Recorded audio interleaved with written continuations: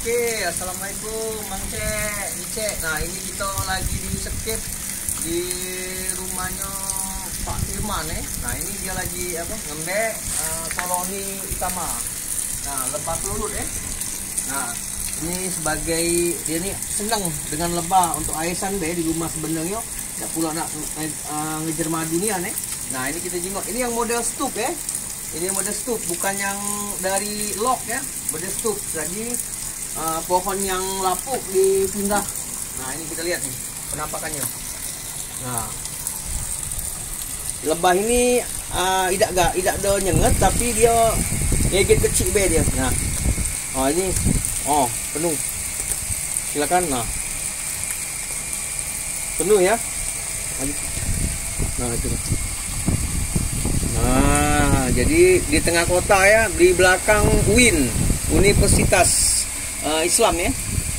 Nah, oke. Okay. Nah, mulai dia nyerang, kita berlari dulu.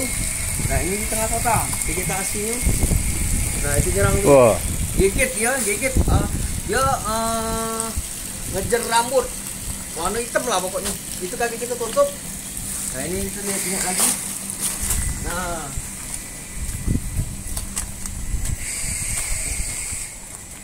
vegetasinya ala kadarnya tapi dia ini sebenarnya tidak ada pulau nak ngejar madunya untuk uh, apa? Nyimpen duit ya lah banyak aneh di ATM kan. Insya Allah. Dia ini kan Allah. istilahnya uh, untuk engonan nah ini juga lagi model stup juga. Nah ini. Nah jadi dia senang nah ngingon arwana jutaan jadi ngingon lebah be kan. Nah lebah ya.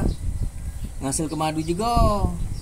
Nah jadi selain ngasil ke madu dia membantu penyerbukan tanaman kita.